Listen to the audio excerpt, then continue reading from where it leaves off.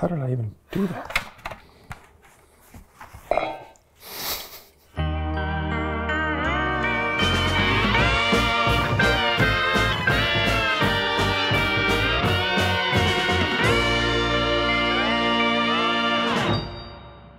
Today on Don't Panic Pantry, we are making pesto. Now, the classic way, the way before they invented food processors, was you do it in a mortar and pestle. It is better.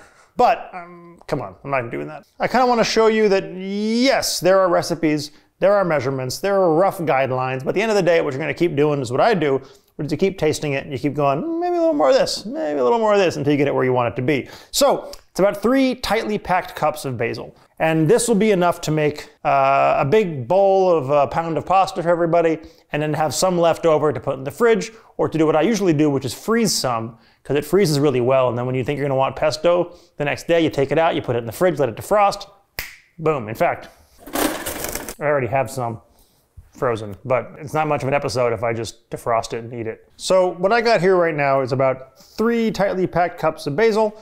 I've got four garlic cloves, Parmigiano Reggiano, pine nuts, and then I got about three quarter cups of olive oil here. I like a little lemon.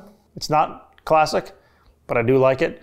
That's pretty much it, salt and pepper. So the first thing I'm gonna do, peel and chop up some garlic. And you could just throw it right in the food processor, but I find that a rough chop just kind of helps you get it a little more consistent and you don't have to worry as much about kind of getting big chunks left behind. You get a little more control over your texture. I'm gonna give this a little pulse now. I like it to be a little bit coarse. So there's little bits of chunks in there still. It's not totally smooth. I'm not gonna use all the oil and all the cheese that I would use uh, with the pasta, because I like to mix it together and then have more that gets wilted in uh, when you toss it with pasta. So now, let's put all this basil in here. Nice healthy pinch of salt. And now we're just gonna pulse it. If you just held it down, you're gonna end up getting it to not really uh, combine very well. It kind of lifts it all up and a lot of it sits on the top. So we're just gonna keep pulsing it. Actually, I'll put a little bit of the olive oil in now.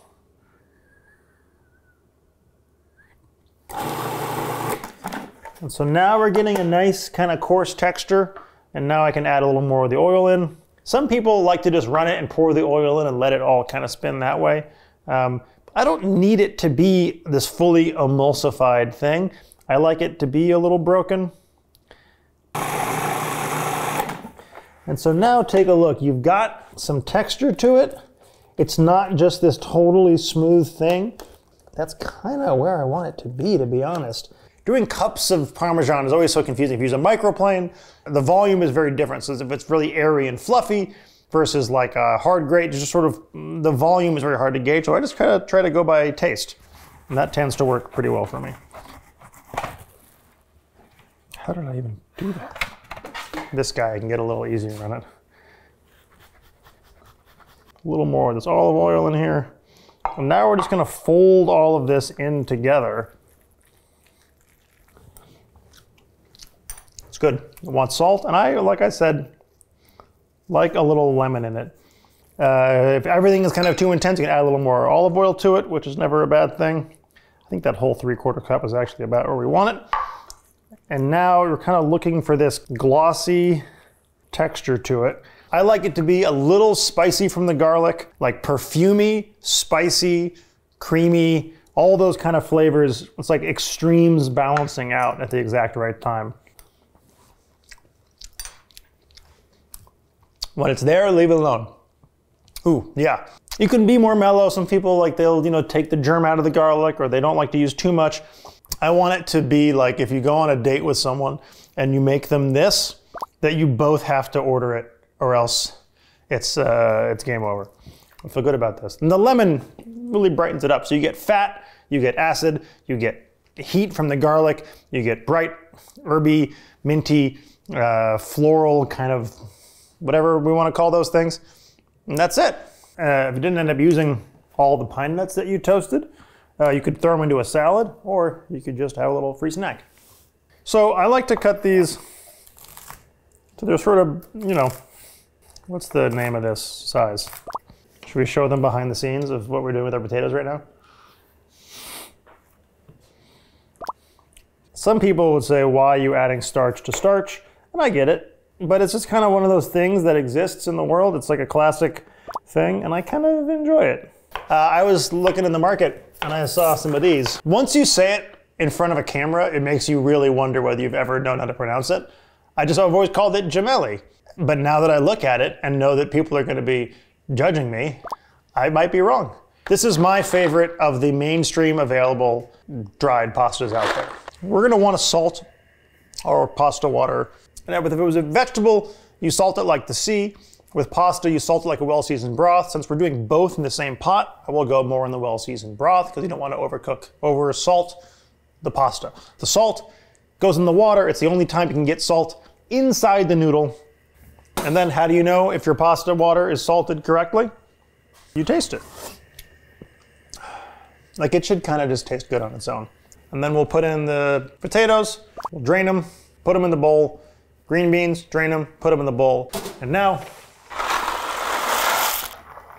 now you want to cook these until they're nice and al dente. Al dente meaning to the tooth, named of course after Albert Dente. All right, so now as always, uh, you want to save your pasta water. So if you don't have a handy scoop like this, take a mug, scoop some pasta water out and keep it on the ready, at the ready. And again, don't worry about draining it super fully for this part. A little bit of pasta water is going to get used anyway, so if some of it clings its way in, it might just get you all the way there. So now, I'm gonna take a nice portion of this. See when it starts to look a little dry like this, is when that pasta water kind of opens it up for you a little bit. And this is again just kind of to taste. A little squeeze of lemon, a little more cheese, a little more olive oil. And so you can see also now that it's mixed together, that the pesto has a little more texture to it. And if you want it to be more of that smooth pesto, you can definitely do that. And make it more of that kind of smooth, creamy kind. And that would just mean blending it further, but I kind of like it a little rustic like this. You want that little bit of a shimmer on it. Who wants anything other than this ever? It's just one of the great, one of the great things in the world. And the potato really does give you this little secret earthy starch blast. And then the green beans kind of brighten it up. Eliza, you want to try some pesto? Here we go. I forgot to say that you're not a big pesto person. I'm, I am not a big pesto person. I'm just not. I would never order it like at a restaurant. It's really good. I'm sorry, wait, let me do it right. Mmm. Kiss the chef. It's really good. What do you want from me? It's really good. And I like how it sticks in your teeth.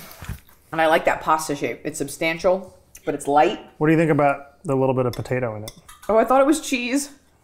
I love it. There's a lot of cheese in there. I don't know if it needs the potato. I'm not a big potato person.